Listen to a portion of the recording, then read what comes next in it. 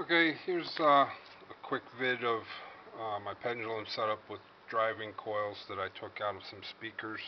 Uh, they were stock speakers from a Volkswagen GTI. Um, here's the old uh, the magnetic assembly. Uh, you can see the gap in there where the coil would ride. Uh, they're both 4 ohms, they're in series, and I have them driven by this amplifier down here. Um, I have the scope up here and then I have my phone. It's Android with uh, an app called Cool Dual Channel Function Generator. Um, goes down to 1 millihertz with whatever somebody would need like that I guess more for uh, the square wave function timing. But uh, we're right about 10 hertz. Um, let's get this rolling because my camera has a timer on it so we hit this little button right here. And you can see this thing just about hitting the coils. Seems a little bit might have knocked this out a little bit. This thing up here it slides back and forth. I can center this. It's the base that holds these on. But you can see this thing is wobbling a little bit like Tin Man showed on his video with his device. Um, what we got here is 8 volts peak to peak. These are the millihenries with the coil alone, with mag stationary, and with the magnet in the coil. Not much of a difference there. Um, 8 volts peak to peak.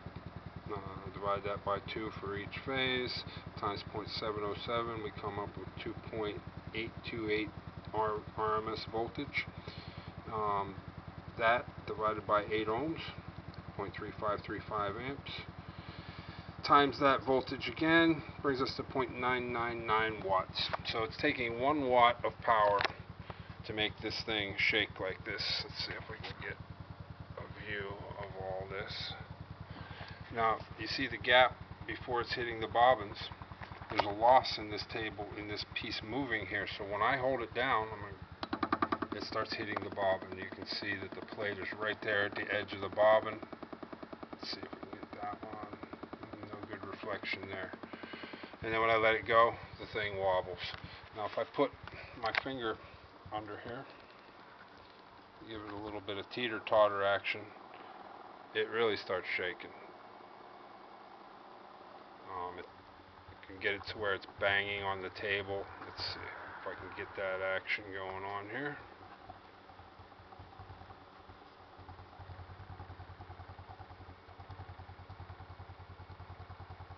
So now it's banging my table at 10 hertz. Um, so if we're messing with these, we got to eliminate these losses. We have to have solid bases that aren't going to move. Um, even me holding this down, there is still a slight vibration in the wall on this. So these tests could be done at uh, lighter, lower wattages, you know, and, and, you come up with some outcomes. Um, but this is very inefficient here. The way I have this, let me turn this off. Really cool little app. Um, produces a nice sine wave. I mean, for this low frequency stuff, and going down to 0.001, uh, you know, on how you can tune this. Actually, this one goes down to the fourth decimal, so you can get really accurate with the tuning on this. Um, but this, this here, where the coil came out of, this magnet here, say it's north on this side, so this plate grabs up all that north, most of it, north field, and then this lower plate here, this silver plate is a looks like a big washer with a hole in it, is this outside ring here. So by bringing those close together, the field is really concentrated around there. It's going across the coil, all around the coil. So that's uh, it, the coil is soaked in magnetic flux at that point uh, very strong field. So it's very efficient compared to what we're doing here and this big balloon of flux out of this end. And, and it has to be at right angles with the coil in order for it to you know generate a, a current through it. So this all is very inefficient if we can get this uh, involved with this project uh, I think we can get it to be much more efficient. Now this this doesn't have as much throw, plus this thing moves at an angle when I do this, so this is going to be a little bit more difficult to work, figure out, but I'm working on it. Um, so at one watt, we got this thing really flying back and forth and making a lot of motion um, with some garbage speakers, basically. They're I had to cut them out of the car, so you can't, really can't install them anywhere. Um, put new ones in, and that's about it. And I have another video I want to do. Uh, want to talk about some more things further. All right, thanks for watching.